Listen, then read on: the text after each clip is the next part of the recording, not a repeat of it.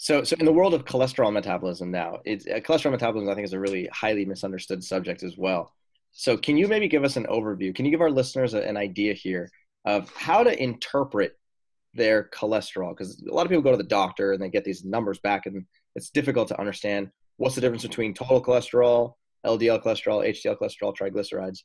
So, can you give our listeners just an idea here of uh, what are some good numbers to shoot for, and what do these numbers actually mean? Well, I don't think uh, there's never been a number that caused heart disease.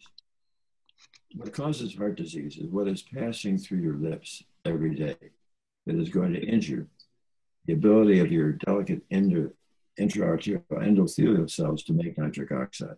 It's when you diminish your nitric oxide. Now, there are plenty of people who are close to me that uh, over the last 30 years never get a cholesterol under 190 or 200. Right? They're never going to have heart disease. Why? Because they're they are never passing anything through their lips that is going to injure their endothelial cells. They eat careful. It's just that their liver has a thermostat that decides that they need a type of cholesterol of 190, or that's the one that's the uh, amount of production their liver is making. Now, every single one of us has a liver that's making cholesterol from the time that we were infants. And when does it really become problematic? We know, for instance, from autopsy studies, that if you uh, look at the autopsy results of young women and men between the ages of 17 and 34 who have died of accidents, homicides, and suicides, coronary artery disease is now ubiquitous. Not enough, for their cardiac events because the cardiac events probably are not going to start until they're another 20 or 25 years later, late late 40s, 50s, and so forth. With what? From a disease that they've had since they were teenagers. So you go to when you graduate from high school in this country, you get a diploma, and you also get the foundation for heart disease. Now, what have they been? Many of those kids don't have cholesterols that are that high, but what have they been eating? All the wrong food. A classic example of but there was a beloved uh, television journalist who used to run Meet the Press by the name of Timothy Russert.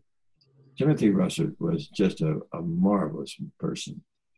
And uh, he had uh, this wonderful program, Meet the Press on Sundays. And one Saturday, he was working on his program when he had a cardiac arrest, heart attack, and they could not resuscitate him and he died.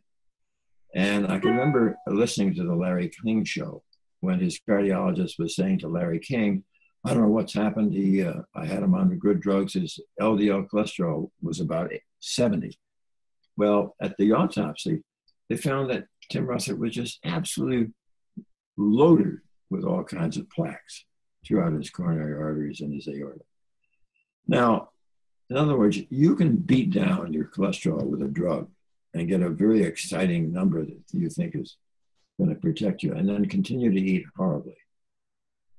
The, the key thing is, you know, for instance, how many statin drugs do you think the Okinawans take, or the rural Chinese, or the Central Africans? Zero. How much heart disease do they have? Zero.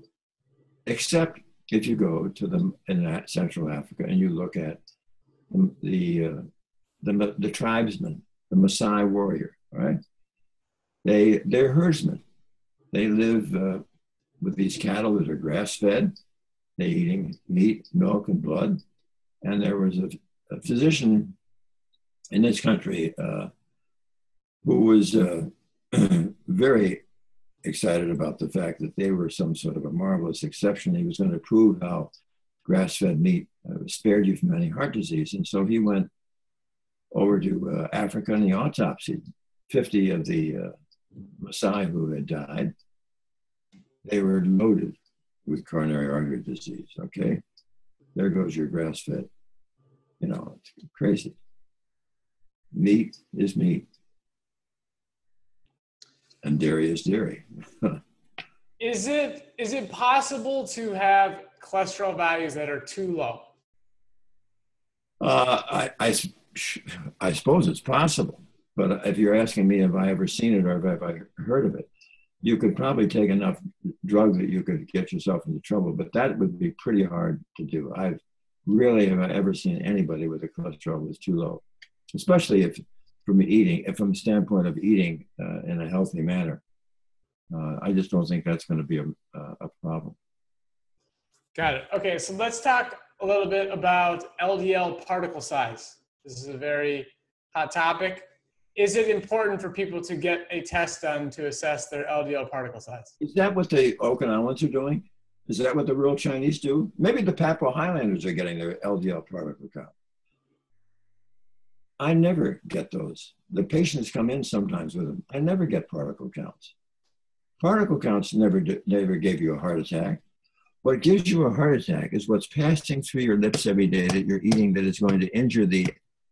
And sorry, guys, to drive the point home, but that's the message you have to have.